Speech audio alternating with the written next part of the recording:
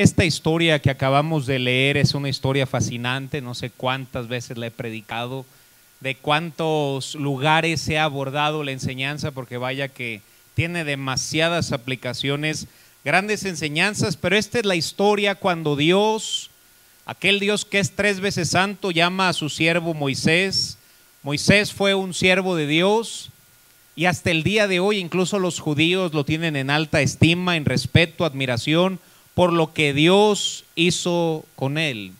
No hay grandes siervos de Dios, solamente hay siervos con un gran Dios. Amén, hermanos. Y Moisés era uno de esos hermanos que vivió para la gloria de Dios. Moisés fue el elegido por Dios para darle la libertad al pueblo de Israel. Y la escritura dice que salieron con brazo fuerte y mano poderosa de Egipto, hermanos. Dios les permitió ver maravillas a través de Moisés y piensa en las victorias que el pueblo de Dios pudo ver en la historia de Moisés. Vieron cómo las plagas caían sobre Egipto, sin embargo no tocaban a los hijos de Israel. Vieron cómo fueron librados en la Pascua de la muerte de los primogénitos. Vieron cómo se abrió el mar rojo y cruzaron en seco. Vieron cómo una nube los cubría para que el sol no les dañase. Y en la noche, hermanos, un pilar de fuego una columna de fuego para calentarlos, vieron salir agua de una roca del desierto teniendo sed, vieron descender aves y maná del cielo. Hermanos, cuán grandes victorias hizo Dios a través de Moisés y de su pueblo. Amén, hermanos. Pero en este texto, antes de que Moisés hiciere todas las maravillas por el cual lo conocemos, hay una petición que Dios le hace a Moisés muy poco predicada, pero muy necesaria, versículo 5. Vemos que la llama arde. No sabemos de por qué Moisés se acercó, pero Dios le llama en esa zarza. Y la petición que Dios le hace en esa zarza le dice, no te acerques Moisés. Quita tu calzado de tus pies. Porque el lugar en donde tú estás Moisés, date cuenta dónde estás parado. No es cualquier tierra. Es una tierra muy santa. lo que hacía santa esa tierra es porque allí estaba Dios, hermanos. Y le dice, quítate el calzado de tus pies. ¿Alguna vez te has preguntado, hermano, por qué Dios le pidió a Moisés que se tenía que quitar el calzado de sus pies para poder acercarse a Él? Moisés, ¿alguien recuerda el oficio de Moisés, hermanos? Pastor de ovejas, versículo 1 dice que apacentaba a las ovejas de Jetro, su suegro. Su oficio era el de pastorear unos animalitos, unas ovejas. Esto quiere decir dos cosas, hermanos. Número uno, que Dios no llama a nadie que no está haciendo nada. Si Dios llama a alguien es porque es alguien que está trabajando y que está haciendo algo y es la gente que Dios aparta para usar para su gloria, hermanos. Y número dos, porque Moisés trabajaba constantemente con las ovejas y en medio de las ovejas había suciedad. Esas sandalias estaban manchadas, hermano.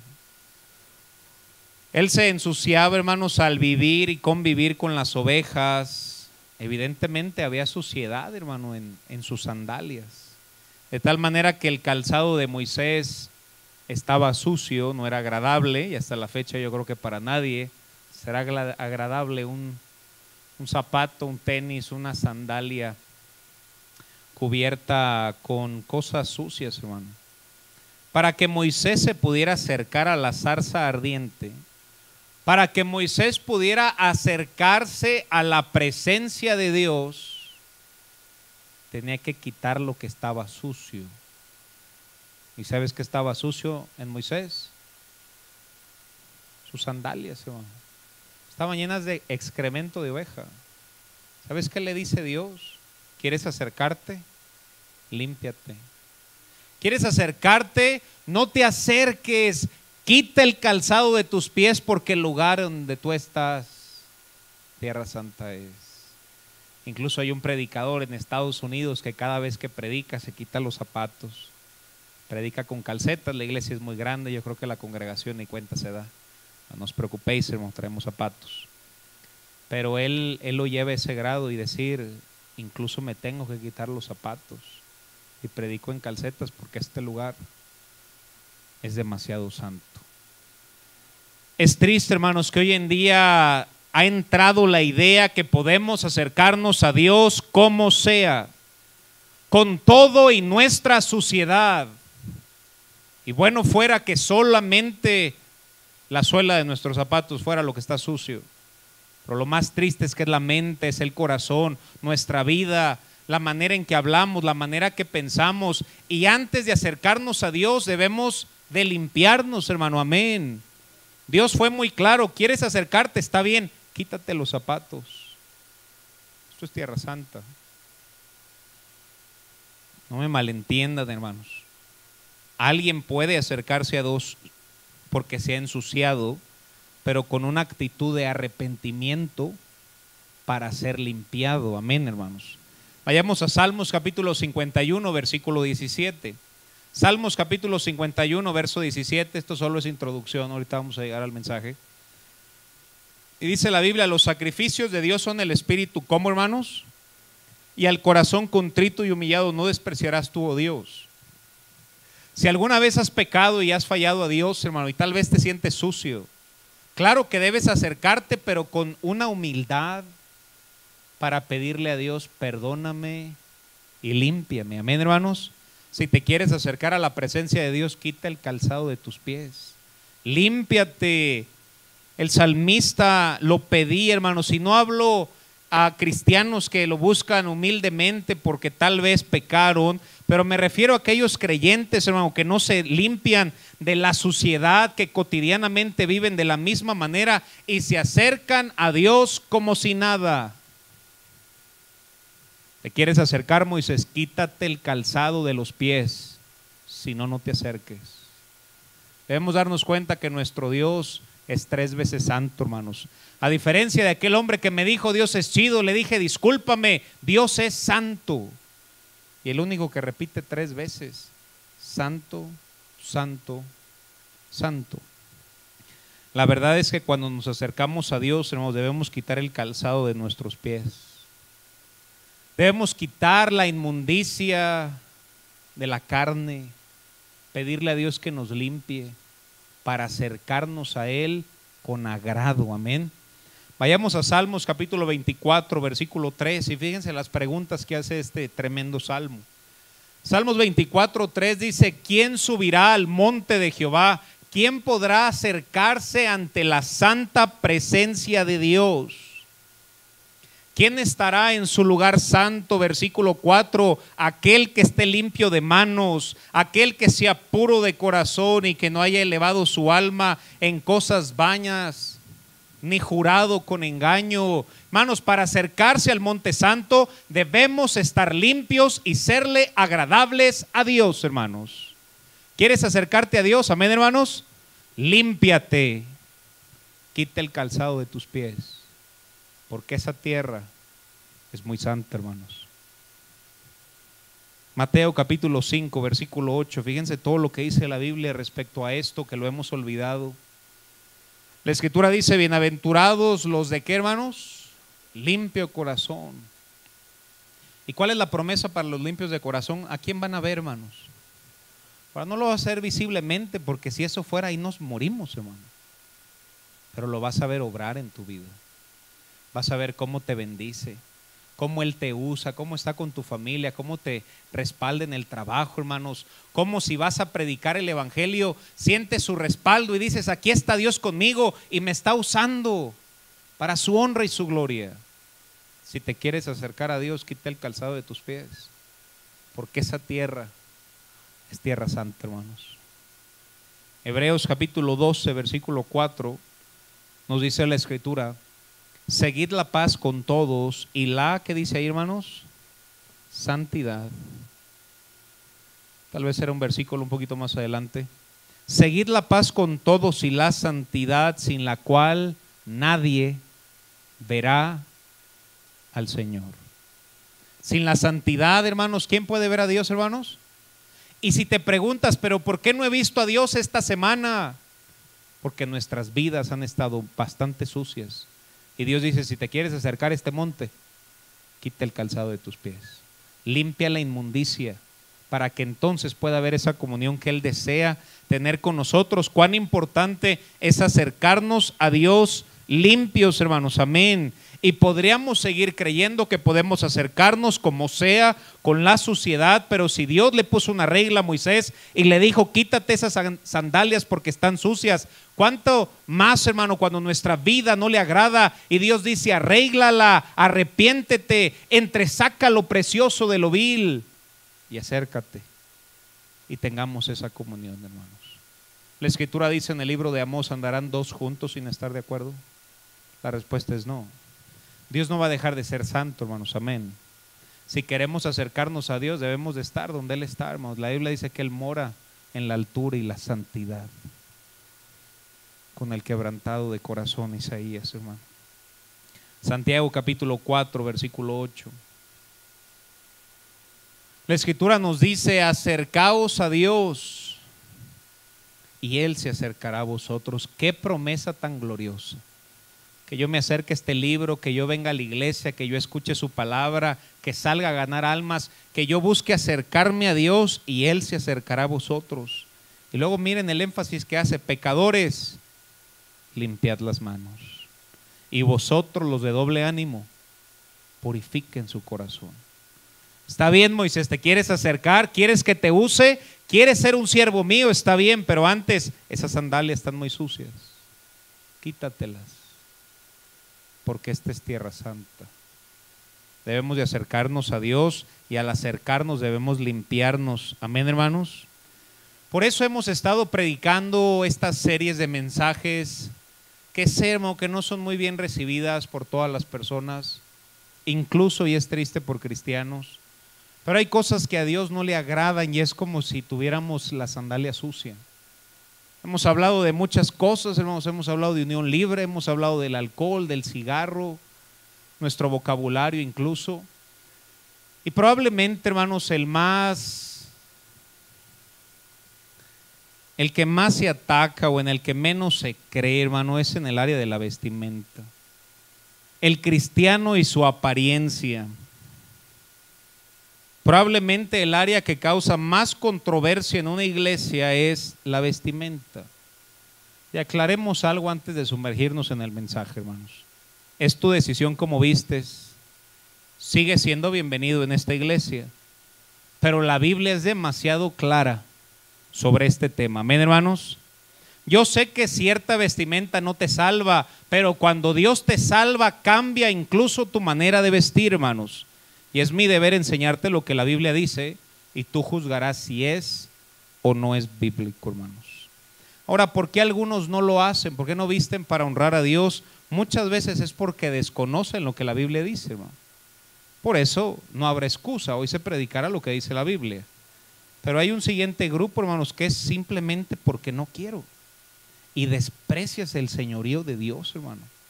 Y es una decisión propia, nuevamente, hermanos nuestra apariencia debe ser la que Dios quiera. Si hay algo muy claro en la Biblia, es que el hombre y la mujer cristiano deben de vestir con modestia. Amén, hermanos. La Biblia es muy clara, aunque puedan diferir en opiniones, la modestia es algo bastante claro en la Biblia. Vayamos a primera de Timoteo capítulo 2, versículo 9.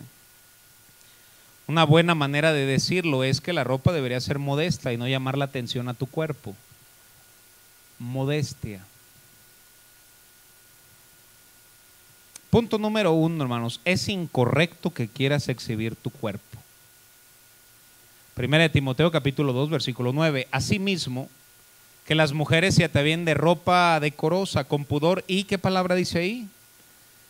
Modestia no con peinados ostentosos, ni oro, ni perlas, ni vestido costoso, sino con su vestimenta, buenas obras, como corresponde a mujeres que profesan piedad. La ropa debe ser vestida con modestia, con pudor. Todo cristiano debe vestir con modestia. Amén, hermanos. Vayamos a Proverbios 7:10. ¿Sabes que nuestra manera de vestir habla? Amén, hermanos. Ahora, si ves a alguien vestido todo, lo había dicho en otro servicio, todo de negro y hasta las uñas de negro, ¿qué piensas que es esa persona? Darqueto, ¿verdad? Y si trae, hermanos, bota y sombrero y chaleco vaquero, ¿qué es eso? Pues como vaquero, ¿verdad? Norteño. Que la vestimentable, hermano. Incluso si ves a alguien con un uniforme azul y dice policía, ¿qué crees que es, hermano? No es que usted juzga la apariencia. Obvio. No me voy a vestir de policía si no soy policía, hermano. Amén. Es tremendo que alguien se te acerque y te diga, usted es cristiano, ¿verdad? Espero que te haya pasado más de una vez, pero yo siempre les pregunto, ¿y por qué? No sé, solo lo pensé. Y esta es una oportunidad para dar el Evangelio. Pero imagínate que andemos allá afuera en una playera y con una calavera, hermano. Allá mejor ni testifiques, hermano. Diles que eres testigo, mejor, hermano. O mormón, hermano, una de dos. Dice la Biblia, una mujer sale al encuentro con atavío de ramera. La palabra atavío es apariencia. Ahora, hermanos, si alguien alguien sabe cuál puede ser esa vestimenta y uno puede decir, ¿existe la vestimenta que es bíblicamente incorrecta, sí o no, hermanos? Esa es una prueba.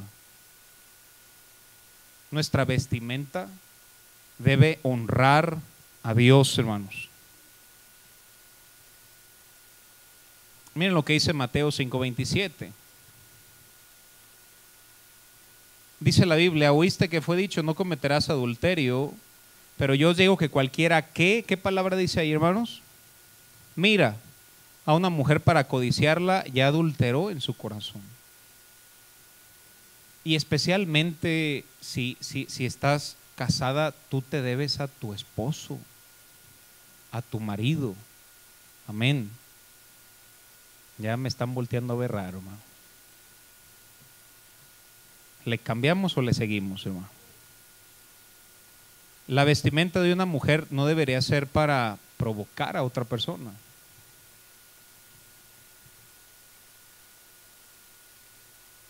Vayamos a primera de Pedro capítulo 3, versículo 3. La vestimenta no debe ser un énfasis en el cuerpo, hermanos. Y entre comillas, debe ser talla, debe ser tu talla. A veces uno dice, bueno, ¿y eso cómo entró ahí? Eso fue un milagro. Dice la Biblia, vuestro atavío no sea, ¿qué dice ahí hermanos? externo. Peinados ostentosos, adornos de oro, vestidos de lujo, sino él, ¿qué dice ahí? Interno. Debe de llamar más la atención lo que está dentro que lo que está afuera. El del corazón en el incorruptible ornato de un espíritu afable y apacible. Y fíjate lo que es que es de grande estima delante de quién? ¿Sabes qué Dios estima en gran manera? Y este pasaje está hablando a las hermanas. Que tu espíritu sea afable y apacible. Es de más valía lo que está dentro que lo que está afuera. Porque así también se ataviaban en otro tiempo aquellas santas mujeres que esperaban en Dios estando sujetas, otra palabra que les gusta mucho, ¿verdad? Sujetas a sus maridos. Ahora, el énfasis no es en contra del oro que te arregles el pelo. Creo que un cristiano debe arreglarse bien. Aunque si ya no tienes pelo, pues ya que, ¿verdad, hermanos? Y yo sé que hay iglesias, hermano, que incluso enseñan que está mal pintarse y tanta cosa. No, no, hay que meterle más de lo que está en la Biblia. Pero el énfasis no debe ser más en lo externo que en lo interno. El incorruptible ornato de un espíritu afable y apacible que es de gran valía para Dios. Amén, hermanos. Y, lo, más controversial de todo, vamos llegando de una vez. ¿Y qué del pantalón, pastor? Bueno, gracias por preguntarme. Dios les bendiga. Vayamos a Deuteronomio capítulo 22, versículo 5. Probablemente este es el tema más controversial. No debería serlo, no dice la Biblia, no vestirá la mujer traje, ¿qué dice ahí? Ni el hombre vestirá ropa de qué? De mujer. Ahora, significa, hermanos, Vamos a desglosar este texto. ¿Significa que hay ropa de hombre, sí o no? ¿Significa que hay ropa de mujer, sí o no? Y Dios dice No quiero que el hombre se vista como mujer y no quiero que la mujer se vista como hombre. Y después dice, hermanos, ropa de mujer, ¿por qué? ¿Y qué palabra usa? Ahora, yo sé que por enseñanzas como esta, que exagerados son en esa iglesia. Si Dios usa la palabra abominación, ¿será cosa ligera para Dios? Si usa abominación, abominable, no. Entonces hay ropa que es para hombre y hay ropa que es para mujer, hermanos. Es muy claro. Ahora, cuando tú vas a un baño, batallas para ver en qué baño te metes, ¿verdad que no? ¿Cómo sabes cuál es el baño de mujeres? ¿Qué tiene? Eso mero. ¿Por qué? Que tiene un triangulito, ¿verdad? El triangulito hace alusión a un vestido falda. Tienes dos opciones, no te preocupes. Vestido falda. ¿Y el monito que tiene, hermanos? Pantalón, hermano. Ah, yo sé, hermano, con enseñanzas como estas dicen, ay, qué anticuados, o especialmente las hermanas, así se vestía mi abuelita.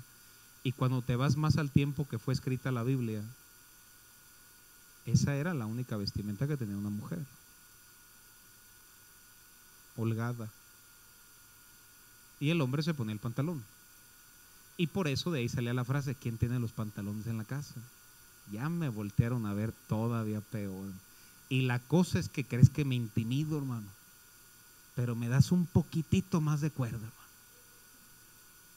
Entonces, ¿para quién vistes? ¿Para agradarte a ti? ¿Para llamar la atención a ti? O número uno, para darle lugar a la persona que está contigo. Y sobre todo, sobre todo, agradar a Dios. Hermano. Ahora no es decir, ya me voy a poner la vestimenta cristiano, cristiana. No debe ser tu andar, hermano. Debe ser tu manera de vestir. Ahora, si no lo haces, está bien y sigue siendo más que bienvenido a esta iglesia. Amén. Pero Dios dice que es abominación, hermano. Pensemos en dos cosas.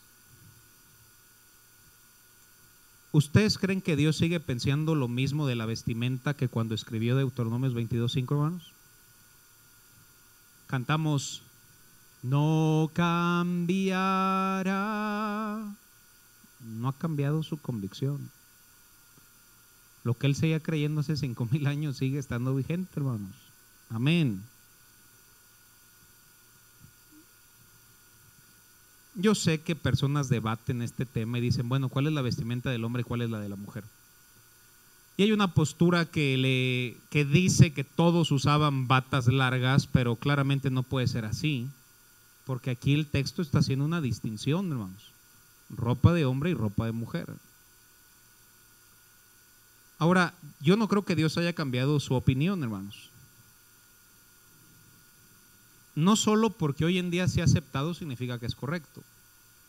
Hoy en día se acepta entre personas la unión libre.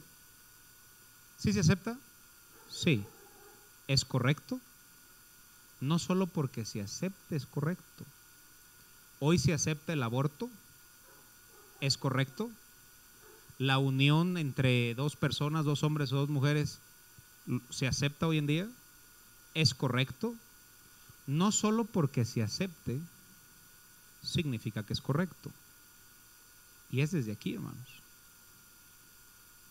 No vestirá la mujer traje de hombre, ni el hombre vestirá ropa de mujer, porque abominación es a Jehová. Ahora, no, no, no es como tú veas, hijo.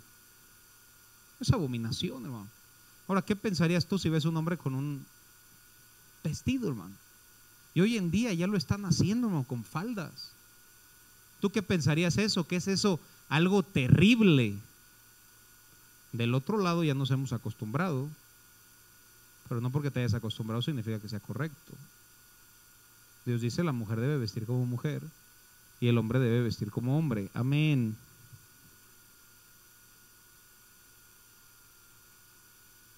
Antes de la caída del hombre había más inocencia, no éramos tan carnales. Vayamos a Génesis capítulo 3, versículo 6. La Biblia nos enseña que Adán y Eva estaban desnudos. Estaban desnudos en el huerto. Y vio la mujer que el árbol era bueno para comer y que era agradable a los ojos y árbol codiciable para alcanzar sabiduría. Y tomó de su fruto y comió y dio también a su marido, la cual comió así como ella, versículo 7, y de ahí en adelante todo cambió. Entonces fueron abiertos los ojos de ambos y conocieron que estaban como previamente a que el hombre pecara, pues no había vergüenza, no tenían vestidura, hermanos, antes de la caída del hombre. Pero a partir de ese momento sintieron vergüenza. ¿Y qué hicieron ellos? Dice la Biblia. Entonces cosieron hojas de higuera y se hicieron delantales, que todos hemos visto la foto, cómo los ponen, ¿verdad? Como con una hojita verde. Eso no es vestimenta, hermanos. Y eso hoy en día es hasta moda, hermanos. Entonces dice la Biblia que ellos mismos se cosieron unas cuantas hojas que estaban por ahí entre los árboles del huerto y ellos estaban vestidos a sus ojos, hermano. La hoja no cobría mucho. Ahora, ¿qué hizo Dios? Versículo 21, miren lo que dice. Versículo 21 dice la escritura. Muy importante versículo. Jehová Dios hizo al hombre y a su mujer, ¿qué dice ahí? túnicas de pieles.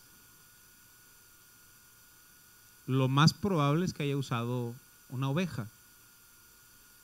Lo más probable es que le haya enseñado a los primeros hombres cuál era el sacrificio acepto. Y probablemente hizo un sacrificio y con la piel los vistió. La piel está más grande que las hojas de árbol, hermano. Ahora, a los ojos de Eva, ¿Eva estaba vestida?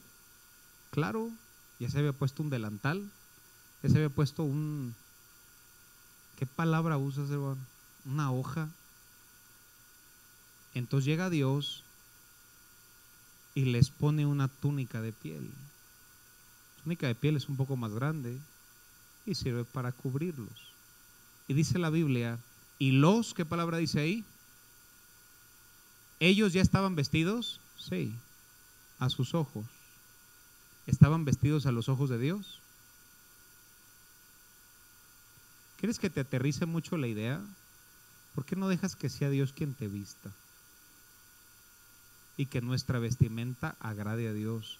Porque si estamos hablando de agradar a Dios, debemos agradarle en todo, hermanos. Nuevamente, yo sé que lo más importante es mi corazón. Lo más importante es mi relación con Dios. Amén, hermanos. Pero si mi corazón está bien y mi relación con Dios está bien, también externamente voy a estar bien. Todo importa. Fue Dios quien los vistió. Ya estaban vestidos, pero no a sus ojos. Y cada día tú debes preguntarte, ¿esto está bien? ¿Esto agrada a Dios? ¿Para quién lo hago? ¿Lo hago para agradar a alguien más? Decía un pastor que a veces personas usan ropa que no alcanzaría ni para secar un carro después de limpiarlo. O tan apretado que hasta puedes ver esa moneda es de dos pesos. Hermanos míos, dice un texto, no debe ser así. Amén, hermanos. Gloria a Dios, Dios es bueno. Amén, hermanos. Moisés estaba apacentando las ovejas de Jetro, su suegro se acerca y ve la zarza. Quería acercarse. Quería agradarle. Quería servirle. Dios le dice, está bien, pero quítatelos. ¿Quieres servirme? ¿Quieres que te use? ¿Quieres que haga cosas grandes contigo? Límpiate, Moisés. Si el líder más grande del Antiguo Testamento tenía que limpiarse yo creo que también nosotros debemos limpiarnos, amén. No solo en esta área, sino en muchas áreas. Pero a veces esta es una muy visible. Todo es importante, incluso nuestra vestimenta, hermanos. Josué quería tener la bendición de Dios para él y para su pueblo. Y miren lo que les predicó al pueblo ahí en capítulo 3, versículo 5 de Josué. Josué capítulo 3, versículo 5 dice la escritura. Y Josué dijo al pueblo, ¿qué palabra les dijo? santificaos, arrepiéntanse, vuélvanse a Dios, porque Jehová hará mañana, ¿qué dice ahí? ¿Y dónde, hermanos? Entre vosotros. Ah, levante su mano, ¿quién quisiera ver maravillas entre vosotros el día de mañana? ¿Sí? Los que no, no quieren ver maravillas.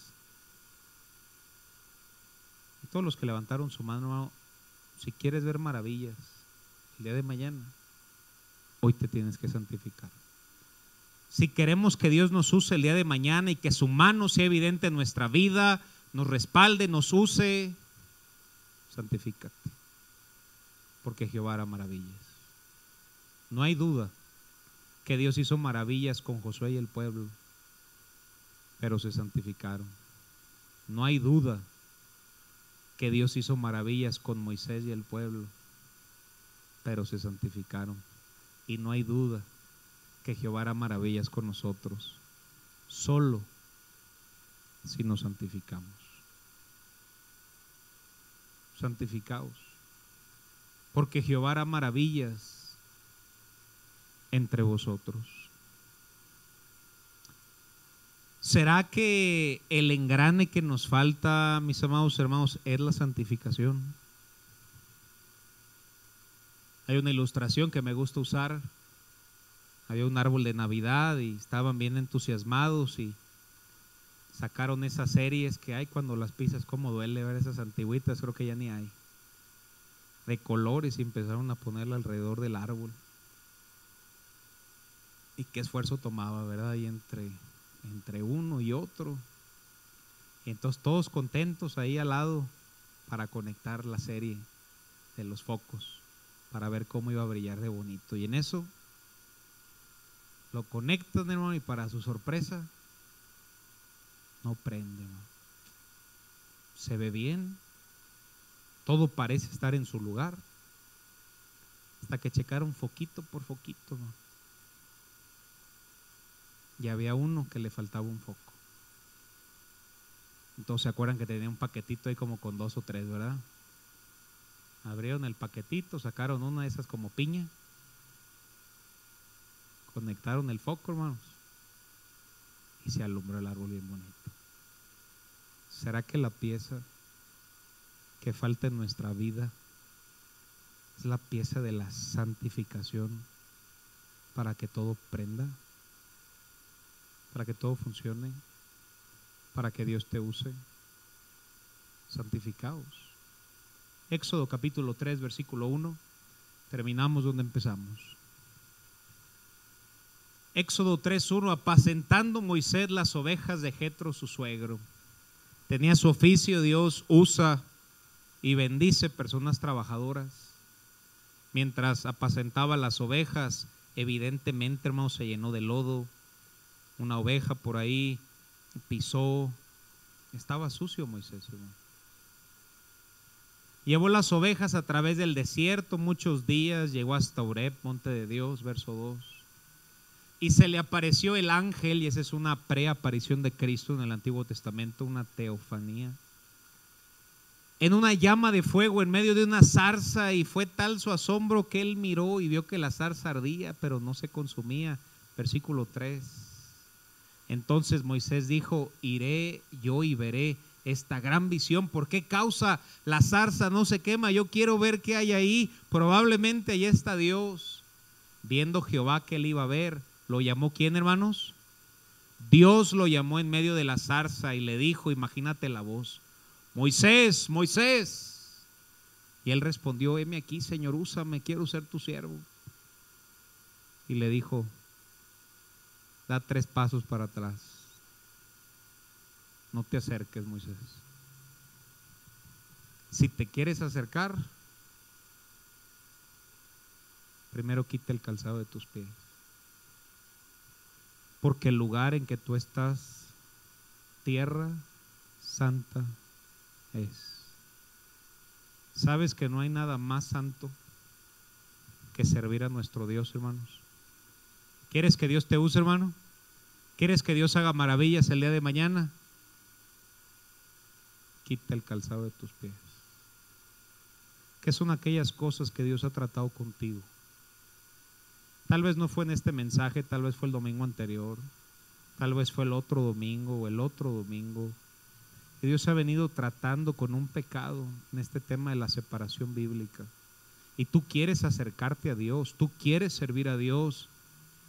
Pero Él te dice, primero, quita el calzado de tus pies, límpiate, acércate. Y no tienes idea, hermano, escúchame bien, de lo que Dios puede hacer con tu vida. ¿Tú crees que ahí Moisés cuando se quitó las sandalias sabía lo que Dios iba a hacer con su vida? No tenía idea. Pero ¿sabes qué se hizo Moisés? Se quitó sus sandalias, se limpió y el resto es historia. Dios lo usó. Si quieres que Dios te use, mucho de ello determina cómo están tus suelas, hermano. Si están sucias no va a haber mucha gracia. Pero si las quitas, las limpias y le agradas en todo, incluso tu manera de vestir, Dios podrá usarte, hermanos. La pregunta se expone y se cierra. ¿Quieres que Dios te use, hermano? Quita el calzado de tus pies. Vamos a cerrar nuestros ojos y vamos a orar. Todos con los.